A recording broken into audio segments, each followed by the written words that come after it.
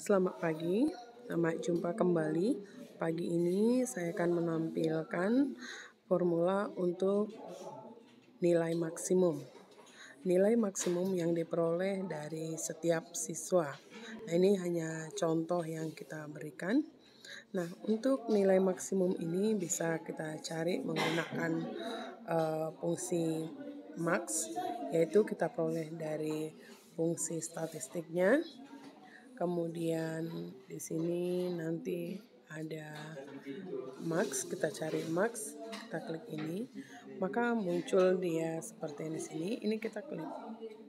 Nah, kita klik kita geser klik nilai pertama kemudian ini klik nilai kedua kemudian ini diklik dan nilai ketiga kemudian yang ini dihapus juga dihapus.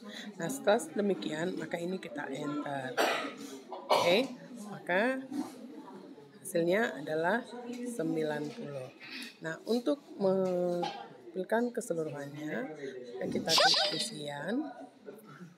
Kita klik isian. Ini karena sudah berubah bentuk, maka kita tarik sampai ke bawah.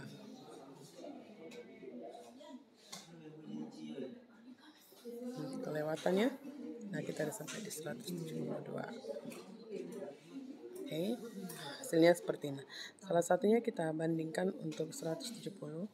Nilai tertingginya adalah 90 yaitu 8 nama ini ternyata benar nilai maksimumnya adalah nilai 90 nah demikianlah yang kita lakukan untuk format daripada nilai maksimum terima kasih